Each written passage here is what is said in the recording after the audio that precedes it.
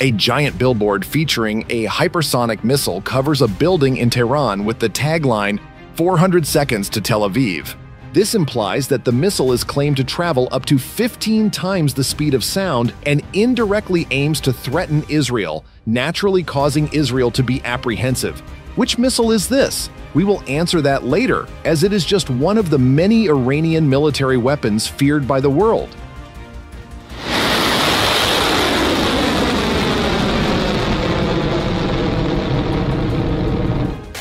One that has attracted attention is a surface-to-air missile that was once introduced to Russian Defense Minister Sergei Shoigu during his visit to Iran. Informally, the West has named this missile 358. It first appeared to the public not through the Iranian military, but when seized by the United States Navy in the Gulf of Aden, along with illegal ammunition that was found. Later, Missile 358 became known as Sakhr-1 by the Houthi forces, who reportedly obtained this missile through illegal shipments. Despite denials by the Iranian government, evidence suggests that Missile 358, or Sakhr-1, was also showcased in Houthi parades in Yemen. Regarding specifications, there is not much information. However, according to reports, this missile is 2.7 meters long, 15 centimeters in diameter, weighs 128 pounds, can reach speeds of up to 2,175 miles per hour, has a maximum flight range exceeding 62 miles, and can carry a warhead weighing 22 pounds. The primary function of the 358 missile is to destroy aerial targets. These targets include drones, helicopters, cruise missiles, and even aircraft.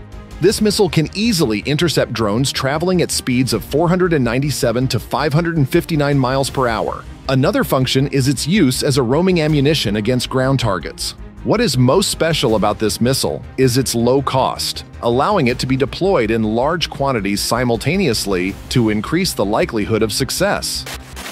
The Iranian weapon that has already made a name for itself is the Shahed 136 kamikaze drone. It's considered prominent because it became part of the Russian armed forces in the Ukraine war. Russia purchased thousands of Shahed 136 units, which were then renamed Geran 2. What's special about this drone that led to its acquisition by Russia? Its ability to evade enemy radar detection due to its design based on stealth aircraft concepts. How does the Shahed 136 work? The drone is launched with the help of a launcher and then the propeller engine takes over control, flying the drone towards its target. The nose of the drone contains a warhead of about 88 pounds and optical devices. The launched drone then explodes upon impacting its predetermined target, guided by GPS. Although the payload of the warhead is relatively small, this ammunition is designed for long-range ground attacks and is launched in large quantities due to its relatively low cost, ensuring that the attacks still have a significant impact. With a large quantity, some drones might be intercepted by air defense missiles, but others will still get through and hit their targets, making the attack quite effective. Another advantage of the Shahed 136 is its speed, being able to travel up to 93 miles per hour with a range of 1,553 miles. It's even said to be faster than the Turkish Bayraktar TB2 drone. The advancement of Iran's defense industry, especially in drone development, is rapid, despite sanctions from the United States and Western countries. One such successful development is the Shahed 149, this drone is named Gaza in honor of the Palestinian people's struggle against Israel. It measures 10.5 meters in length, 3.2 meters in height, and has a wingspan of 21 meters. Its design is similar to the Shahed 129 with some enhancements.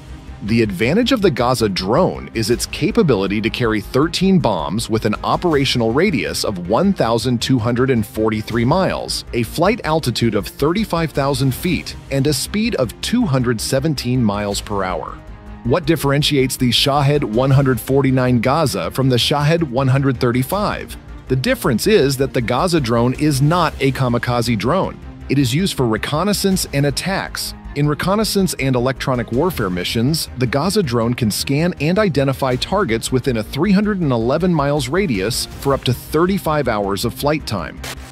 The hypersonic missile featured on the billboard in Tehran is the Fateh hypersonic missile. This is Iran's first developed medium-range hypersonic ballistic missile, created by the Islamic Revolutionary Guard Corps and launched in 2023.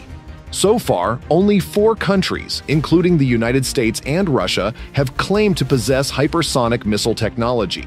Meanwhile, Iran, still under the shadow of Western sanctions, chose to develop the Fateh hypersonic ballistic missile capable of maneuvering in and out of the atmosphere. Fateh's role is to enhance Iran's deterrence capabilities, increase security, and promote peace in the surrounding region.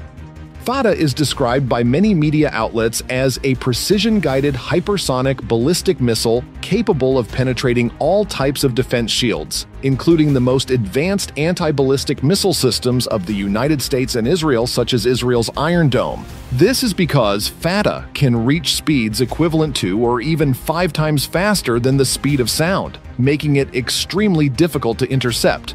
The missile can also evade radar systems and target anti-ballistic missile systems to clear the way for other ballistic missiles. Fateh can strike targets at speeds of Mach 13 to Mach 15, equivalent to 9,320 miles per hour. It has a range of 870 miles, and plans are underway to increase this to over 2,000 kilometers to reach Israel. With Fateh's capabilities, it's reasonable to claim that this missile can attack Tel Aviv, the capital of Israel. Before the introduction of the Fateh missile, around mid-2023, Iran had already tested a medium-range ballistic missile. This missile is named Khorramshahr 4, an upgraded version of the Khorramshahr series, also known as the Khyber missile. The name Khorramshahr is derived from a city in Iran that was the site of fierce battles during the Iran-Iraq War in the 1980s, this series is described as Iran's most powerful missile system, capable of carrying an 18-ton warhead, resulting in a devastating explosion. Additionally, the Khorramshahr 4 version can store fuel for longer periods, making it easier for Iran to deploy this missile during sudden escalations. Design-wise, this missile is akin to North Korea's Hwasong-10 medium-range ballistic missile, but in an Iranian version. It measures 13 meters in length with a diameter of 1.5 meters and a launch weight of about 20 tons. Its ability to destroy targets has a margin of error of only 30 meters even from a distance of 1,243 miles. In terms of speed, Khorramshahr 4 can travel at Mach 16, or reach 12,427 miles per hour. With its high speed and accuracy, enemy defense systems struggle to detect, track, or effectively intercept the missile.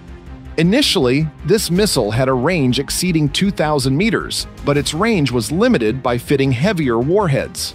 The goal is to enable the missile to carry nuclear warheads in the future, However, Iran has developed a missile with specifications as an anti-ship ballistic missile often referred to as an aircraft carrier killer, which of course poses a most deadly and concerning threat.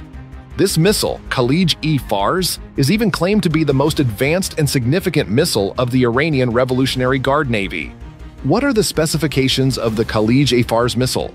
In terms of range, Khalij-e Fars has a reach of up to 186 miles, with a speed of 3,044 miles per hour. This missile is equipped with an explosive warhead weighing 1,433 pounds. Khalij-e Fars has been tested twice. In its second test, the missile accurately destroyed a moving ship with a precision of 30 meters. Although these results are already considered a significant success, the Iranian government still demands that the precision be improved to less than 10, 15 meters. Less than six months after the second test, experts continued their mission to enhance the missile's precision. And as a result, the precision of the missile was improved to less than 8.5 meters in tests. Another advanced missile feared by many countries, especially those operating F-35 or other stealth fighter jets, is the Bavar 373.